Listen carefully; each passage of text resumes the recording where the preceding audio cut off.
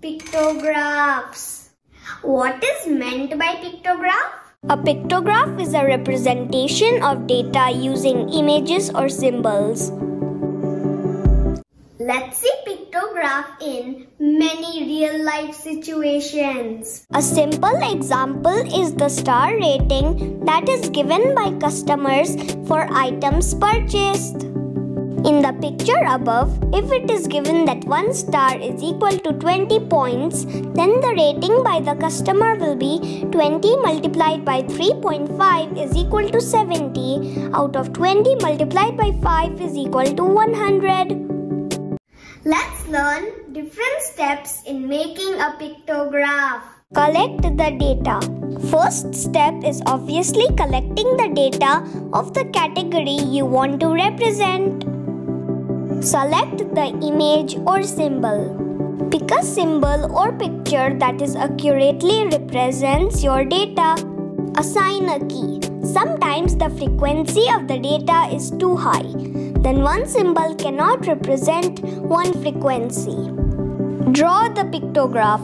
Final step is drawing your pictograph. Draw the two columns that represent the category and the data. Review your data and finally review your pictograph and make sure it correctly represents the information that you want to relay.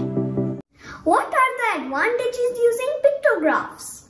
It helps to express large information in a simple way. It is easy to understand. It easily attracts the viewers as it uses attractive images.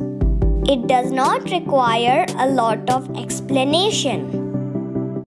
Let's see first example. The pictograph shows the number of eggs sold by a trader in 3 days. If the trader still had 115 eggs left after the 3 days, calculate the number of eggs he had at first. 1 egg represents 25 eggs.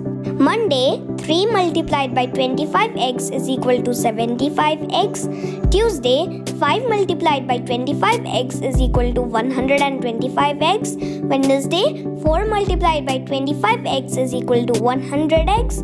x remaining is equal to 115.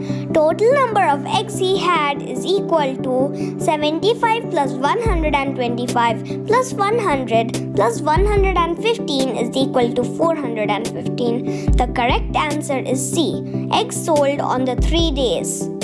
Let's see second example. The line plot below shows how students scored on last week's math test.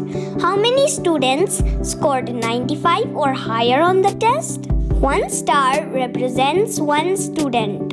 We know that one star represents one student. So, students getting 95 marks is equal to 7. Students getting 100 marks is equal to 5. Therefore, students getting 95 or above is equal to 5 plus 7 is equal to 12 students. The correct answer is D.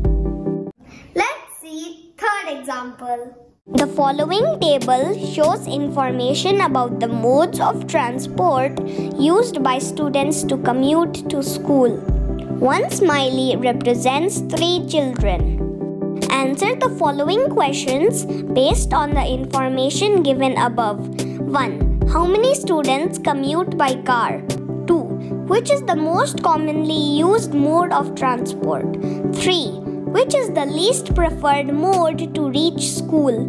Solution Answer number 1. Number of students who commute by car is equal to 4 multiplied by 3 is equal to 12. Answer number 2. The bus is the most commonly used mode of transport.